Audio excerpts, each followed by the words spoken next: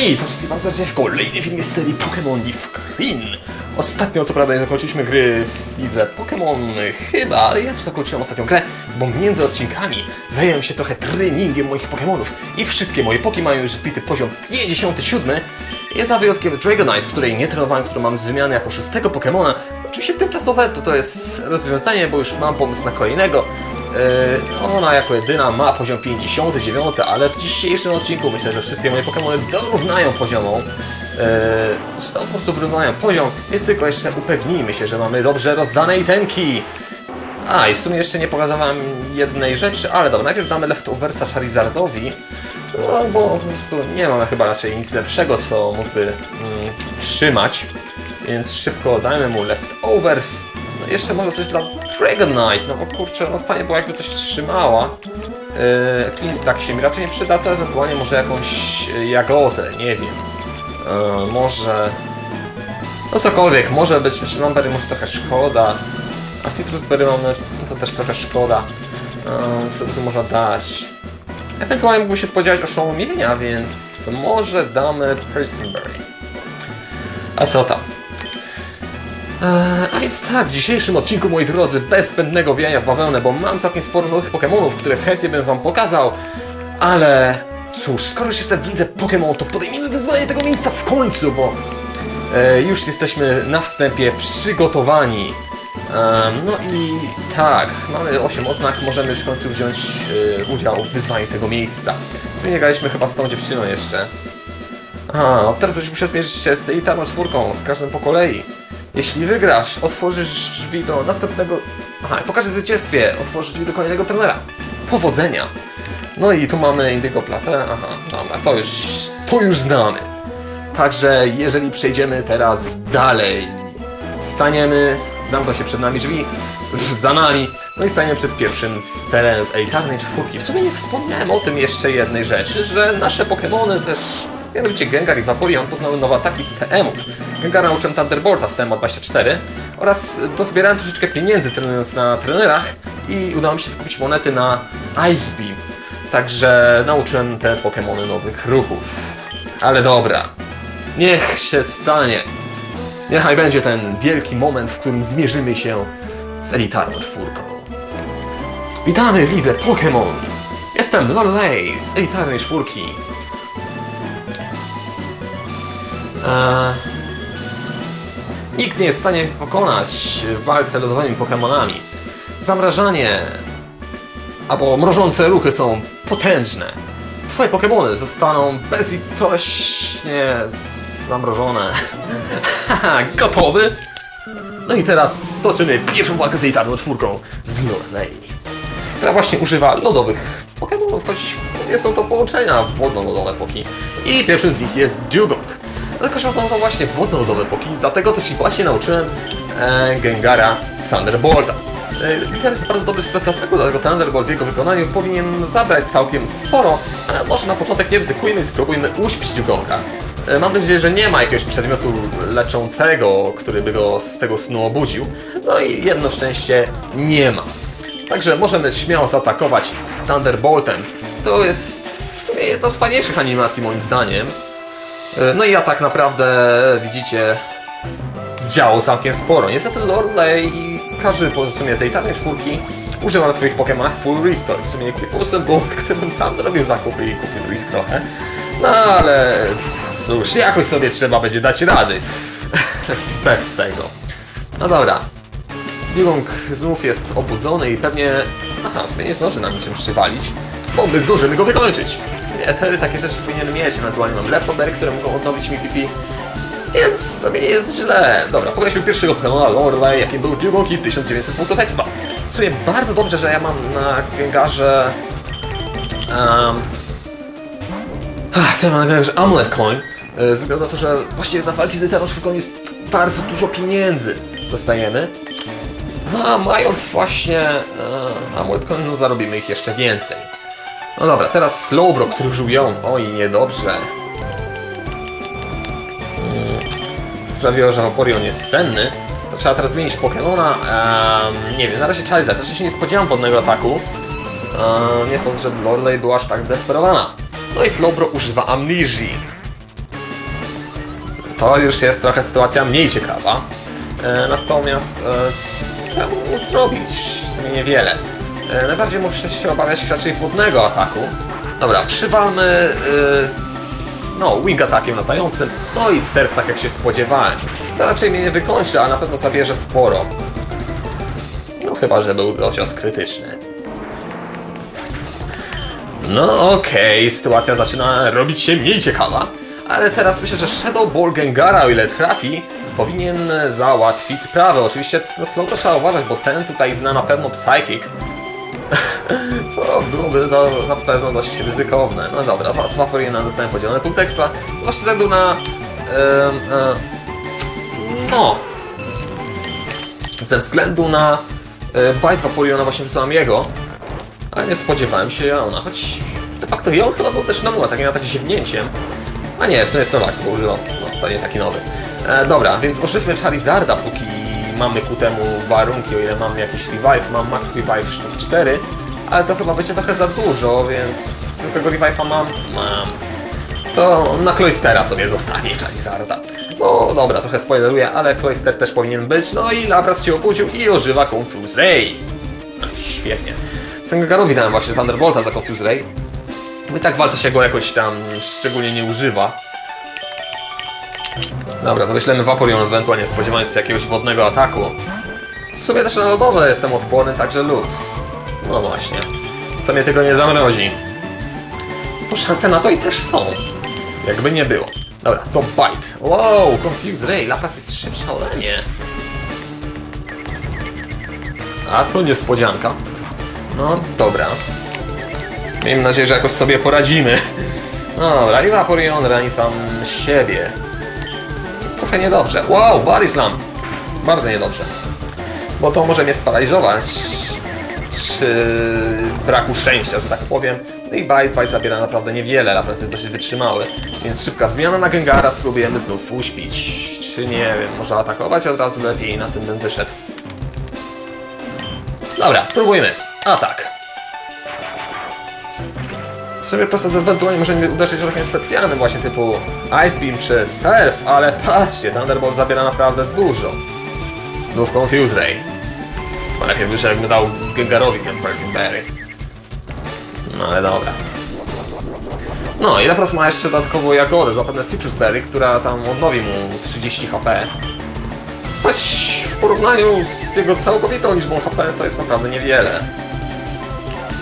Dobra, i Ice Beam. Stabowane oczywiście zabierze mi naprawdę dużo. No, trochę mniej się spodziewałem. A jeżeli Gengar sam uderzy w siebie po raz kolejny, to byłoby bardzo nieciekawie. Dobra, Thunderbolt i kościmy Lapras. Kurczę, nie wiem, czy wszystkich uda mi się rozwalić w jednym odcinku. Jak na razie mamy tempo dosyć... em, no, muszę przyznać, cienkie. Dobra. Kolejnym Pokémonem trenerki będzie Cloyster, właśnie wspomniany przeze mnie wcześniej. No i Cloystera spróbuję powalić Charizardem, choć nie wiem, czy jeden Flamethrower załatwi sprawę. Na pewno Thunderbolt by go załatwił, ale Flamethrower to tak... Ni tak, ni tak. No, Cloyster na pewno też na surf, więc yy, na to trzeba uważać. Chociaż tak naprawdę można to pozytywnie by wykorzystać. po co marynować leki? O, o, hail? Tego się nie spodziewałem. Menda. Zaczyna mnie to irytować. Dobra, bite. O, protect. No, strategia z Hailem, protectem. No, po prostu świetnie. Ale myślę, że to też dałoby się jakoś mądrze wykorzystać. No, Hail jest podobnym zjawiskiem jak właśnie Sandstorm, jak widzimy. Yy, Rani między tużu każdego z Pokémonów, znaczy no, każdego Pokémona, który jest typu nielodowego. O nie, Spikesy.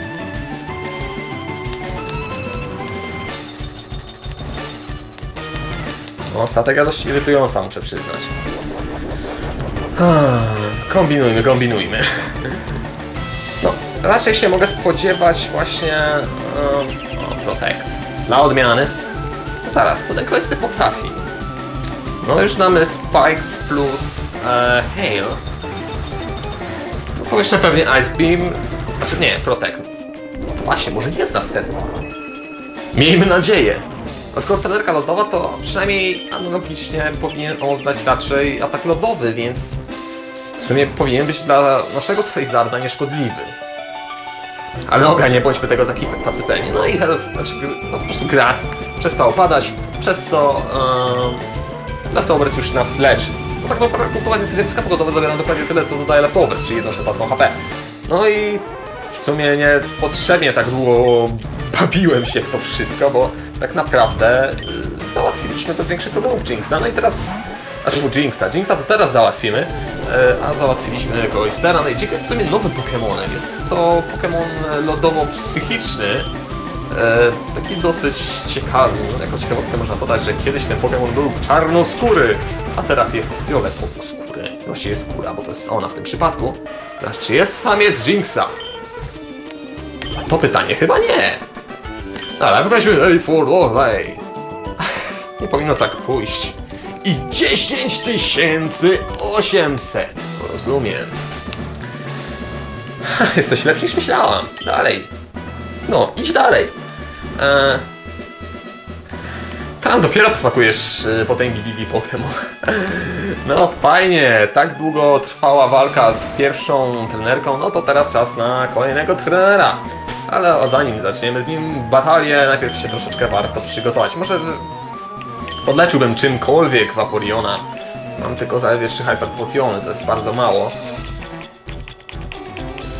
A jak tam z innymi lekami? Pocić Full Restore znalazłem, Max Potionów mam 5. A, to nie jest źle. Jakoś sobie damy radę. Więc tego Hyper Potionu mogę w sumie użyć na e, Vaporionie, bo on mi się przyda w tej walce. Przyda mi się w tej walce również Gengar. To z Gengarem to może być trochę różnie. Ale dobra, Gengara, nie, pierwszy będzie chyba lepszy Vaporeon. Dlaczego? Zaraz zobaczycie. W sumie do tej walki też byłby dobry, dobra była Nidoqueen, ale dobra. A że mamy tu kolejnego gościa z elitarnej czwórki. Jestem Bruno z elitarnej czwórki. A. Morderczy trening. Ludzi Dzięki morderczemu treningowi ludzi w Pokemonii stają się... przykracają limity siły. O, proszę bardzo. E, żyłem i trenowałem razem z moimi walczącymi Pokemonami. E, I to nigdy się nie zmieni. Oskar, skąd moje imię? E, zmiażdżymy cię naszą mocą. Uho! Więc mam do czynienia z kolejnym z elitarnej czwórki, jakim jest Bruno. Bruno, jak wspomniał, specjalizuje się głównie w Pokemonach walczących, choć tak naprawdę używa również kamiennych, jak chociażby Onix. Dlatego też wybrałem Vaporeona jako pierwszego, jeden surf bez wątpienia załatwi sprawę. Z Brunem powinno pójść prościej, bo on ma taki Pokémon trochę mniej wytrzymały, że tak powiem. Poza tym Gengar zna atak psychiczny, który na pokach walczących będzie naprawdę super efektywny. No i teraz tak wchodzi Hitmonchan. Ze strony Hitmonchana nie wiem, czy powinniśmy się obawiać jakichś ataków fizycznych, ze względu na to, że Hitmonchan poznaje ataki pięśćmi, które są raczej specjalne. Choć tak naprawdę zna on ruch Rock Tomb, co mnie w żadnym wypadku nie cieszy, bo ten ruch spowalnia naszego Gengara. Ale wciąż jesteśmy szybsi, więc z Dream Eaterem na pewno uda nam się wystać sen. Choć tak naprawdę jeden Dream Eater nie wykończy tego Hitmonchana, bo Hitmonchan ma całkiem dobre defy. Dlatego też i jeden Dream Eater na pewno coś zdziała, ale nie sądzę, żeby to załatwiło sprawę. Ale przynajmniej się trochę podleczymy. No, prawie. Prawie. Ale prawie czyni dużą różnicę, dlatego też i wykończmy szybko Hitmonchana. Dobra, wyścimy jeszcze to, co się da. W końcu właśnie tener uży... Właśnie, użył Furistor. Ojej, niedobrze. Bo Dream Eater nic nie zrobi.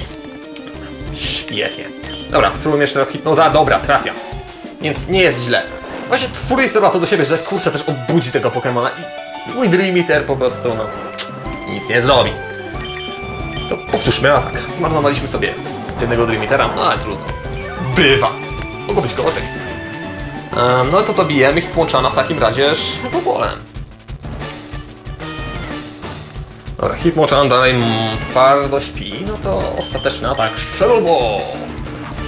W sumie te latające płoki też, to był, znaczy walczące płoki, byłyby dobre też w no, Firo czy Charizard.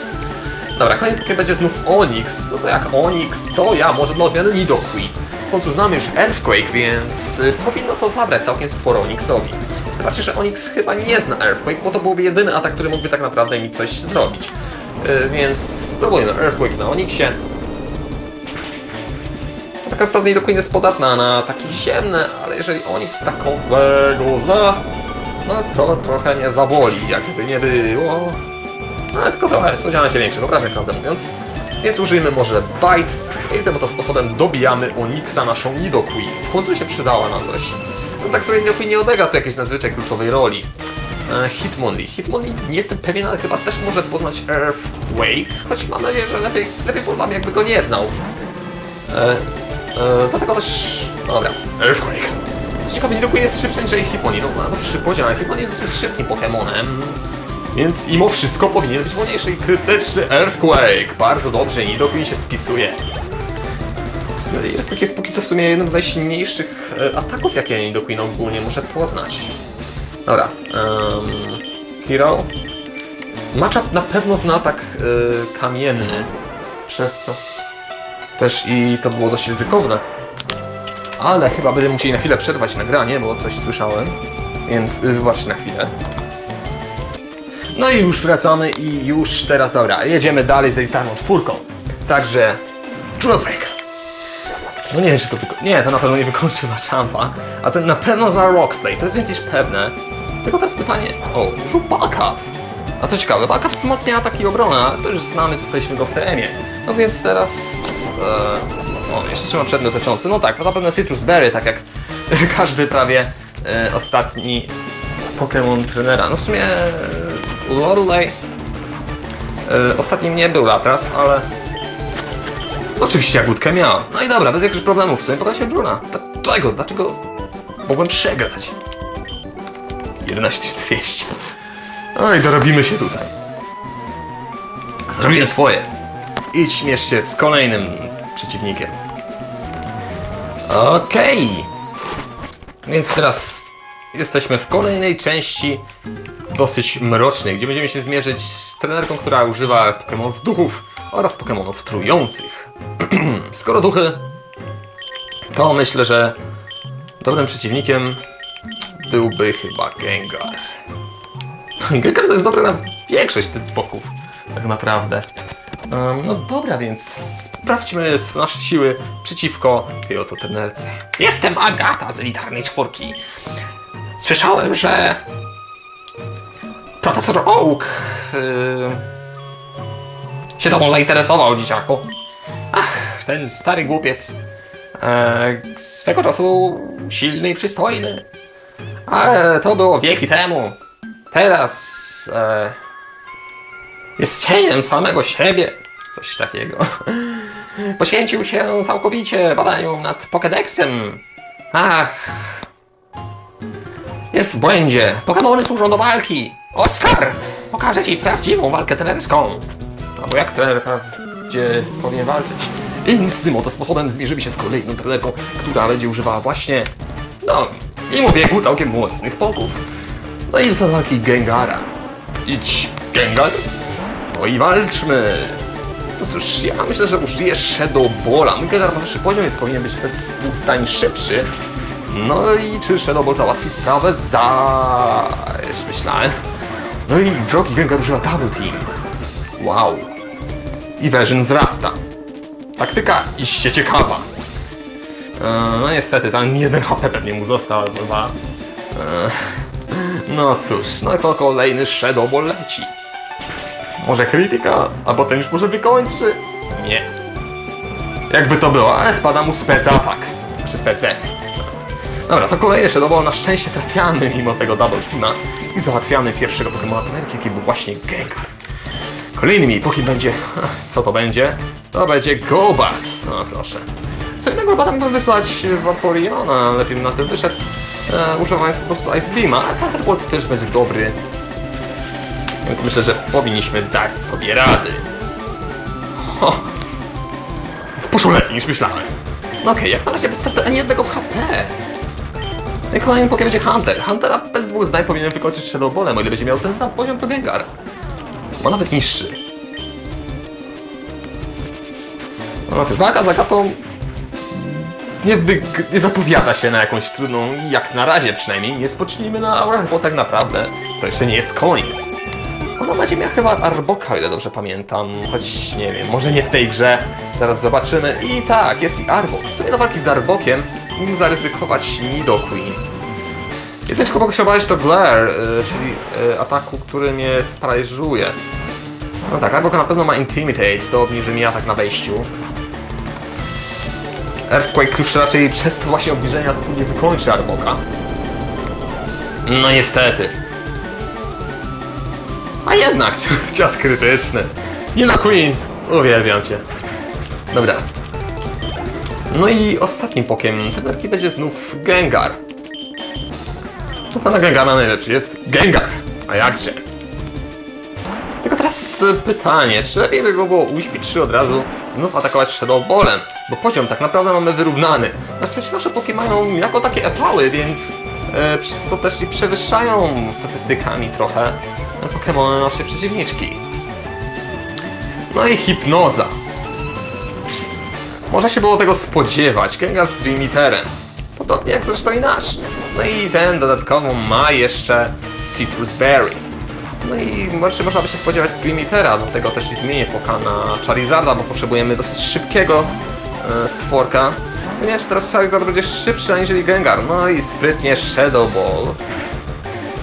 Przewiduje wymianę, no jeszcze Spec Def mi spada. Niedobrze, niedobrze. Tak sobie to wygląda. No i Flamethrower. Miejmy nadzieję, że tak, jesteśmy szybsi aniżeli Gengar Agaty. No i tym oto sposobem pokonujemy yy, Gengara i zdobywamy całkiem przyzwoitą sumkę punktów expa. Zarówno na Gengarze, jak i na Charizardzie po tysiaku. No i pokonaliśmy Agatę. O, proszę. Jesteś naprawdę wyjątkowym dzieciakiem. I 11600 z walki na walkę coraz więcej. Wygrałeś. E... No jest też ten stary dureń... E... Miał rację, powiedzmy. E... No cóż, mam ci więcej powiedzieć. Idź dalej, dzieciaku. No właśnie, i tam za tymi drzwiami czeka nas czwarty z elitarnej czwórki, który w sumie, jak niektórzy się myśleć, będzie najmocniejszym. I teraz tak, e, czy opłaca mi się leczyć Poki? Charizarda jeszcze niekoniecznie, ale opłaciłoby mi się obudzić Gengara. Czy ma może coś takiego jak Awakening, albo może Chestoberry? Chestoberry też byłoby dobrym pomysłem i Chestoberry mam bardzo dużo, bo aż 13. Tylko w, e, do walki z następnym przeciwnikiem będzie potrzebny Pokémon, który potrafi coś lodowego. Tak jest. Bo kolejny trener z elitarnej czwórki już ostatni. Sami, sama konsola nas prowadzi do niego. Będzie korzystał z Pokémonów. Zresztą sami się zaraz dowiecie. Ach, słyszałem o tobie, Oskar. Jestem naj... no nie wiem, liderem elitarnej czwórki, powiedzmy. Możesz mówić mi Lance, trener Dragon... no, smoczych Pokemonów. Eee... Zapewne wiesz, że smoki to mistyczne poki. Są bardzo trudne do złapania i do trenowania, ale ich moc jest niesamowita. Eee... Ogólnie są niemalże niezniszczalne. Eee, więc. E, więc trzeba z nimi walczyć mądrze, powiedzmy. Więc cóż, jesteś gotowy na porażkę? A ja myślę, taki pewny. Eee, twoje wyzwanie Wielki Pokémon kończy się na, na mnie, Oskar. A więc czas na ostatniego z elitarnej czwórki czwartego trenera Lensa który jest trenerem Pokémonów smoczych. Choć takowych samych smoków nie ma, bo jak widzimy na sam początek wysyła Gyaradosa, o którym kompletnie zapomniałem. Więc e, początek taki troszeczkę średni. E, dobra, więc do walki z Gyaradosem z powrotem muszę wysłać Gengara, bo tylko on podoła mu przynajmniej na jeden cios, bo jest to Pokémon wodno-latający. A Gyarados używa Dragon Rage, który zabierze mi dokładnie 24 HP. Znaczy 40 HP, co ja mówię. Dobra, więc Thunderbolt i jeden cios wykańcza tego Gyaradosa, co oznacza się podwójna podatność na typ elektryczny. Tak jest. To było piękne. No i kolejnym pokiem będzie Aerodactyl. Aerodactyl jest jednym z najszybszych poków ogółem, więc e, nawet Gengar go nie prześcignie. Przynajmniej tak mi się wydaje. Jest to taki Vaporeona. Jeden serw załatwi tutaj sprawę bez dwóch zdań. No, to, że jest cienki w specdefie. E, no i co Aerodactyl może mi zrobić? Używa Ancient Powera. to jest chyba kolejny nowy atak typu kamiennego. On ma to do siebie, że ma małą szansę, co prawda, ale może podwyższyć wszystkie statystyki. Atak, specatak, specobronę, obronę i szybkość. To jest naprawdę, naprawdę... Wow, gdyby mu się to udało, to... No i kolejny Pokémon jest Dragonite. To jest niższa forma y, Dragonite'a, którego mamy. Jest Dratini Dragonite Dragonite. No i ten używa Outrage.